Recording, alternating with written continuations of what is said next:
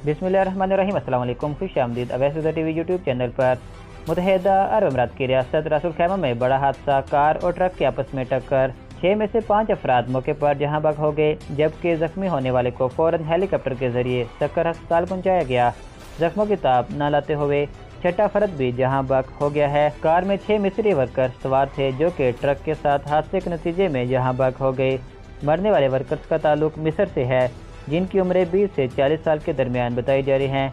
ये वाक़ तेरह जुलाई यूई रियासत रसूल खैमा एमरस रिंग रोड पर पेश आया, जहाँ कार ट्रक से टकराने के बाद कार में मौजूद छह अफराद ज़िंदगी की बाजी हार गए हैं। बगैर इशारा दिए लैन बदलना या तब्दील करना मुतहदा अरब अमारात में हादसे की सबसे बड़ी वजूहत में से एक है। रसूल खैमा पुलिस के अहलकार ने वाजह किया कि अचानक मुड़ना सड़क इस्तेमाल करने वालों के लिए इंतहाई खतरे और उलझन का बायस बनता है ख़ास तौर पर हाईवेज पर, जहाँ खिलाफ वर्जी करने वाले सिग्नल इस्तेमाल किए बगैर ही लैन बदल देते हैं। और यही आज भी हादसे का सबब बना, जिसके नतीजे में छः जाने ज़ाया हो गई हैं।